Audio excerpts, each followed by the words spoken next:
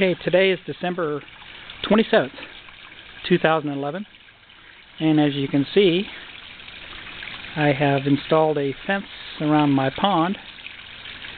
We have a few dogs I have to keep out, plus I have a new grandson, and I don't want him to accidentally fall in the pond as he's uh, around our house and growing up. Let's have a closer look at the pond.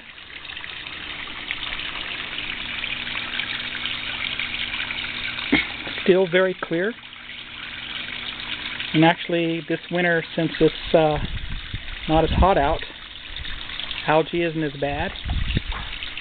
And don't have any issues with uh, murky water at all. It's very clear. The fish are actually in a hibernation mode because the water is very cool.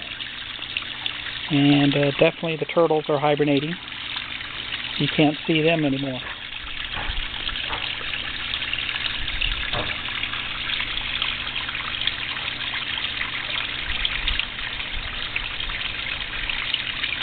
And the filter is still doing great. I may build another one, make some modifications to the new one that I've been thinking about. And when I do, I'll uh, post more videos on how I built the new one. But for now, this one's working just fine.